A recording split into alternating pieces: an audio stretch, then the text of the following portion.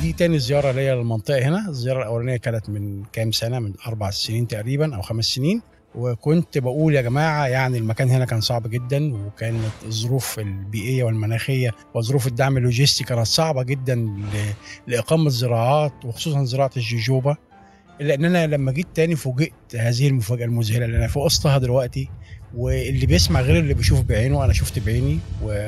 وشفت هذا الإنجاز اللي اتعمل بسواعد شباب وشباب محترم جدا بكن له كل تقدير واحترام وبشكره.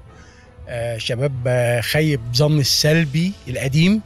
وأنا بقول دلوقتي إن أنا بعترف إن أنا كنت يعني الرأي آه، يعني آه، كان ينقصه الصواب نظرا لصعوبة المكان كان. لكن أنا لما شفت التجربة النهارده تجربة جيدة جدا وتجربة رائدة تستحق كل الإشادة وتستحق آه، إن كله يقف جنب هذه التجارب الناجحة اللي مسيره التنمية.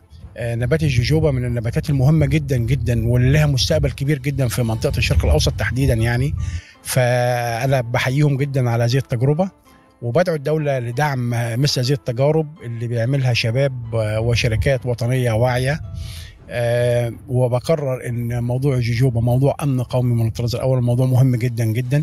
نبات له أبعاد آه، اقتصادية وأبعاد آه، مهمة جدا في صناعات طبية وصناعات تج- آه، أدوات تجميل وصناعات بعض أنواع وقود الطائرات وبعض أنواع الصناعات التي تساهم بشكل مباشر في حركة وعملية التنمية. وبدعو الكل للمساهمة والمشاركة وإن كل الناس تيجي تشوف آه، بعينها التجربة الجديدة بتطويرها الجديد بالنموذج الجديد اللي عملته الشركة.